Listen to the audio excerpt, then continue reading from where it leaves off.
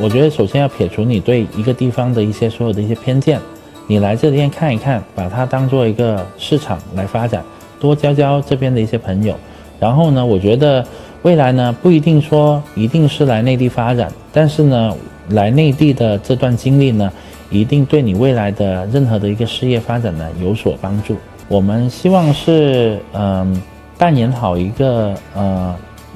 解读者的一个角色。因为呢，往往呢，很多时候，呃，他们都有很多机会来接触内地啊，或者是来看一看，但是呢，没有一个深度的一个解读，我觉得有些时候可能会有一些信息上的一个偏差，所以呢，我们希望呢，我们是，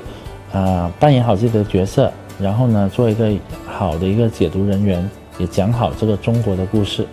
陈星分析深圳同埋香港嘅关系時指，两地系产业链同创作嘅关系，认为两地可以探讨合作发展交叉行业，例如金融科技，创造新产业。那深圳来说的话，可能就是这些高科技啊、高端生制造啊这些。但香港呢，在一些国际贸易啊、啊，还有一些国际的一些语音体系方面呢，它还是有它的一个啊优势在这边的。大部分的还是一个偏啊互联网科技这一块的。